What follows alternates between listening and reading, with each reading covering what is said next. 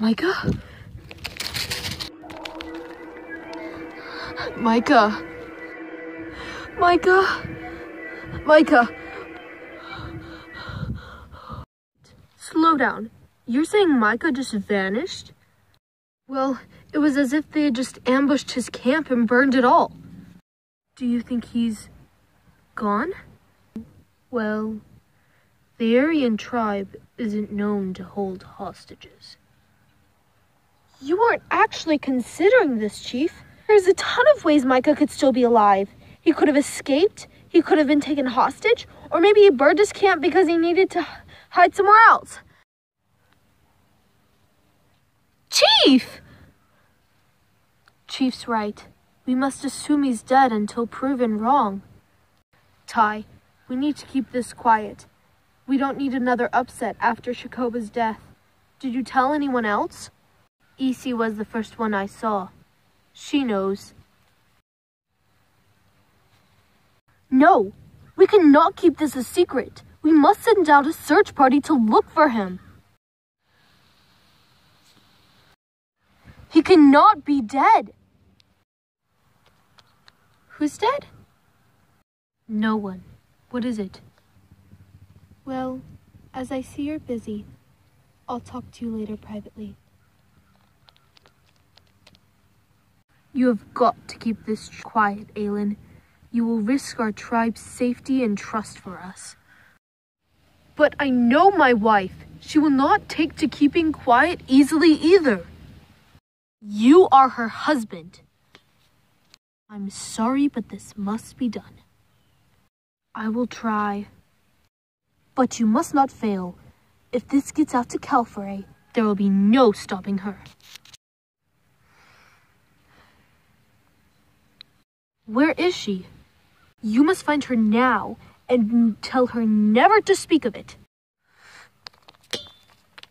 Should I go back and investigate any further? No, I cannot risk losing you too. So, you said you liked my brother? No, that's just something my brother said to embarrass me. Are you sure? I've known him all my life. I think I would know by now if I liked him.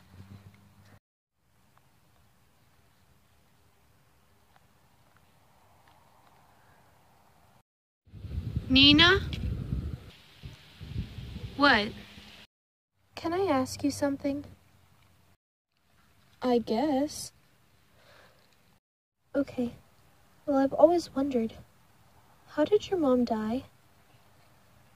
Um, I was really young. We were about all two at the time, and Daddy told me Mommy got sick. They thought at first it was a common cold and she'd be fine, but then she got rashes everywhere. And her body became weak. For a whole week she was like this.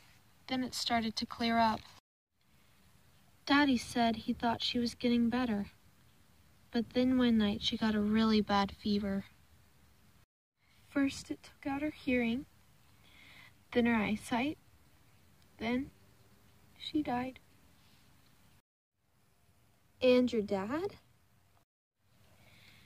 He cried for weeks and weeks. He felt so much guilt for thinking she was getting better. He wanted to stop doctoring. He had Isi and Island take care of us for a few weeks because every time he saw us, he'd be reminded of her. He told us that one day he woke up and realized stopping doctoring the tribe would hurt it more. There would be no one to doctor or anyone to teach them. He still misses her, and I miss her.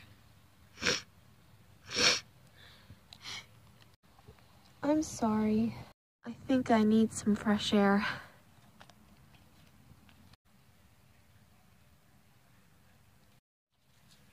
Isi? What? Can I speak to you?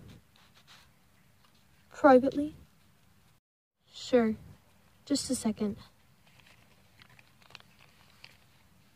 Did you tell her, um, about what happened? No. Why? Well, the chief has decided to keep it a secret. What? Yeah, I know. And you agree with this? See, let me know. I can't believe you. But I will keep your secret, but only for the sake of Calfrey. Hey, honey. How are you? It's just been a hard day, Mom. What was it you needed to ask me? Well, as a chief, you need to find out who you would like to marry. You are of age. Okay, I'll keep it in mind.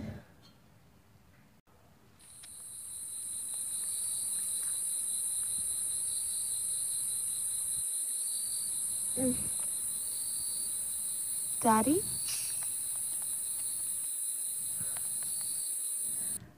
Dad?